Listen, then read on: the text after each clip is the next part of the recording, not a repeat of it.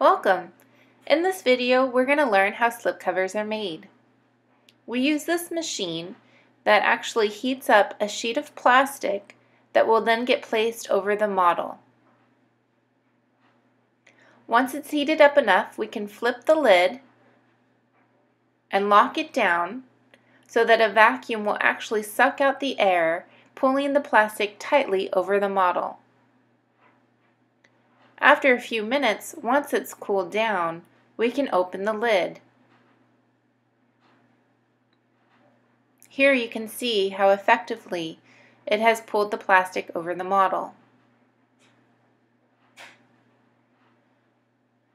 Now all we have to do is cut around the plastic to get it off. Then we use a sharp knife to cut out the inside.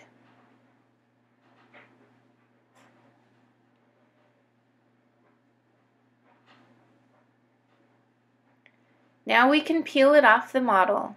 During this time, sometimes the teeth break, thus why we need a, a, new impression if we are to make a new retainer.